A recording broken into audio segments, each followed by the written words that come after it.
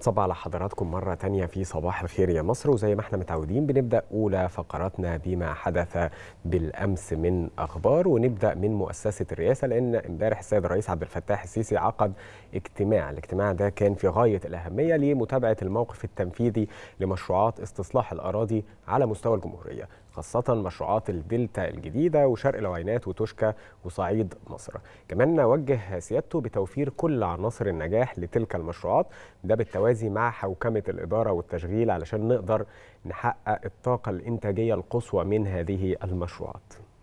اجتمع السيد الرئيس عبد الفتاح السيسي مع الدكتور مصطفى مدبولي رئيس مجلس الوزراء والدكتور محمد شاكر وزير الكهرباء والطاقة المتجددة واللواء أمير سيد أحمد مستشار رئيس الجمهورية للتخطيط العمراني والعقيد طيار بهاء الدين الغنام مدير مشروع مستقبل مصر. المتحدث الرسمي باسم رئاسة الجمهورية صرح بأن الاجتماع تناول استعراض الموقف التنفيذي لمشروعات استصلاح الأراضي على مستوى الجمهورية خاصة في إطار الدلتا الجديدة وشرق العوينات وتشكى وصعيد مصر. وقد اطلع السيد الرئيس في هذا الإطار على تطورات المراحل الحالية والمستقبلية لمشروع مستقبل مصر في إطار الدلتا الجديدة فضلا عن تفاصيل سير العمل بمكونات المشروع من طرق ومحاور وآبار مياه ومحطات معالجة معالجة للمياه وشبكة تغذية الكهرباء من خلال محطات كهرباء الدلتا الجديدة. وقد وجه السيد الرئيس بالاستمرار في توفير كافة عناصر النجاح لتلك المشروعات بالتوازي مع حوكمة الإدارة والتشغيل بهدف تحقيق الطاقة الإنتاجية القصوى المخططة.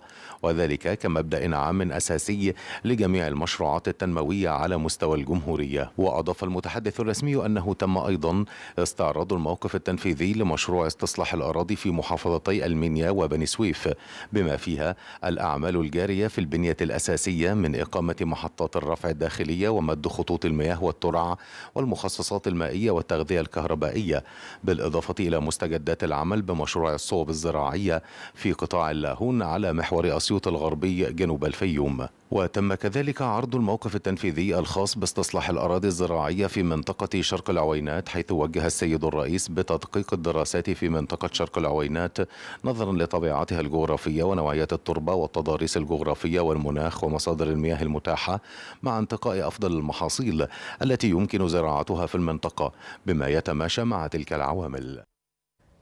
كمان امبارح كان في مجموعة من الأخبار المهمة وأبرزها نفي الحكومة إصدار قرار بتجفيف بحيرة فطناس في واحد سيوة والتأكيد على انخفاض مناسيب المياه هي السبب في تنفيذ عدد من الإجراءات لتطوير منظومة الري والصرف بواحد سيوة. كمان امبارح وزارة التخطيط أصدرت التقرير السنوي لإنجازات الخدمات الحكومية الإلكترونية وأخبار تانية هنعرفها في سياق التقرير اللي جاي.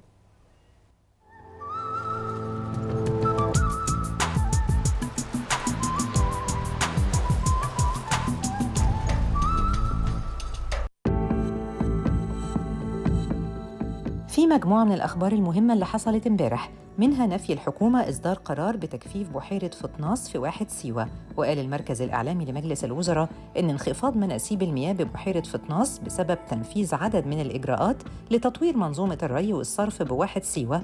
لحل مشكلة زيادة مياه الصرف الزراعي اللي تسببت في ارتفاع مناسيب المياه الأرضية بالأراضي الزراعية بالواحة. وأكد المركز إنه بمجرد انتهاء أعمال التطوير هترجع مرة تانية مناسيب المياه تدريجياً.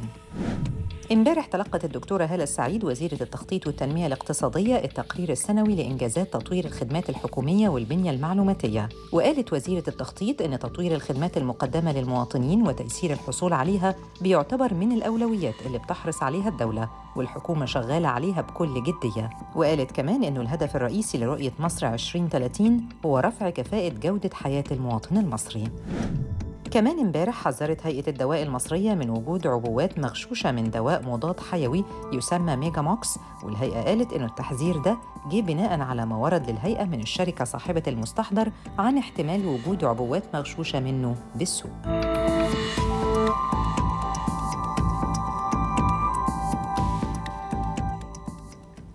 نروح لجولة أخبار المحافظات اللي معنا فيها في الحقيقة مجموعة من الأخبار المهمة اللي حصلت امبارح في محافظات الجمهورية المختلفة.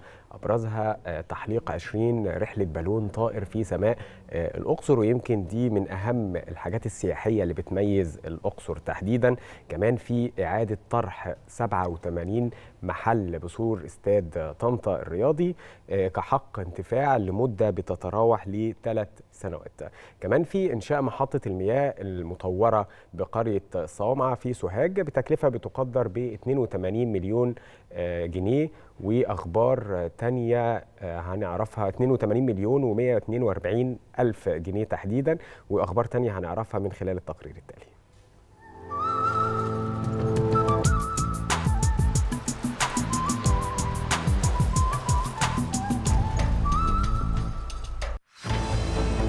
محافظات مصر شهدت امبارح أخبار وأحداث كتيرة. البداية من الأقصر اللي شهدت تحليق 20 رحلة بالون على متنها حوالي 480 سائح مصري وأجنبي من حول العالم. في الغربية تم إعادة طرح 87 محل بسور استاد طنطا الرياضي كحق انتفاع لمدة ثلاث سنين وده من خلال مزاد علني طبقا لأحكام القانون. في الشرقية أكد الدكتور إبراهيم محمد متولي مدير مديرية الطب البيطري أنه في إطار الحملة القومية للتحصين ضد مرض التهاب الحمى القلاعية وحمى الوادي المتصدع واللي بدأت أعمالها في 14 يوليو 2022 قامت المديرية عن طريق 180 لجنة بتحصين 337461 رأس ماشية. في سوهاج شهدت قرية الصوامعة شرق مركز أخميم لانتهاء من مشروع إنشاء محطة المياه المطورة بتكلفة 82 مليون و142 ألف جنيه وده ضمن مشروعات برنامج التنمية المحلية بصعيد مصر. في الوادي الجديد صدق المحافظ اللواء محمد الزملوط على فتح تخصص طاقة شمسية بمدرسة موط الثانوية الصناعية التابعة لإدارة الدخلة التعليمية وده في إطار توجه الدولة نحو ترشيد استهلاك الكهرباء والتوسع في استخدام مصادر الطاقة النظيفة والمتجددة. في أسوان الدكتور إيهاب عماد حنفي وكيل وزارة الصحة قال إنه تم تنظيم قافلة طبية شملت مختلف التخصصات الطبية والعلاجية والتوعوية وتم إجراء الكشف الطبي على 2290 مواطن بالمجان وتقديم مختلف الخدمات العلاجية في عدد من التخصصات الطبية. في شمال سيناء أعلن مجلس مدينة الشيخ زويد أسماء دفعة جديدة من المواطنين اللي هيتم صرف تعويضات ليهم وعددهم 47 مواطن التعويضات دي بتخص بعض المباني المتضررة المستحقة للصرف واللي موجودة في نطاق مركز ومدينة الشيخ زويد. في البحر الأحمر أعلن اللواء حامد أحمد رئيس مدينة راس غارب تطبيق نظام العلاج عن بعد بمستشفى راس غارب المركزي وقال إن تقنية العلاج عن بعد بتتيح فرصة التواصل بالصوت والصورة مع أكبر الأساتذة الاستشاريين بجميع المستشفيات الجامعية لإجراء الكشف والتشخيص السليم وتحديد العلاج.